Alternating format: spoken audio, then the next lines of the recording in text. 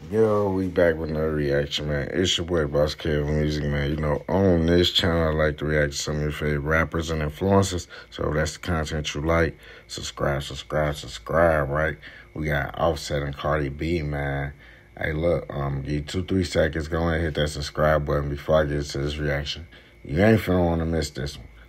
Hey, um, Offset weighed in on, um, you know, the rumor of Cardi B being with NFL player uh, Stefon Diggs, and uh, he he answered up to a poll that was on um, Twitter, and people want to know what's his vote. You know what I'm saying?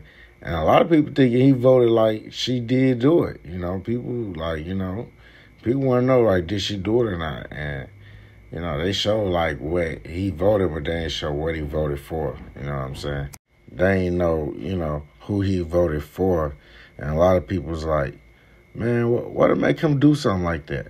I think Offset really hurt. You know what I'm saying? They saying this football player guy Stefon Diggs, um, he known for doing this. You know what I'm saying? They said this what he do.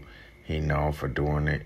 Um, you know, what's y'all thoughts on this? You know what I'm saying? Do y'all feel like Cardi B really let this guy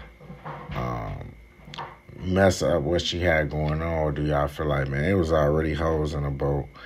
Um, you know, it been over with. Offset been cheating on her, doing her bogus.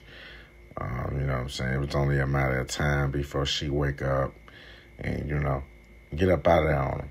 Now, she did, you know, claim up to it and say, like, yeah, it is what it is, you know?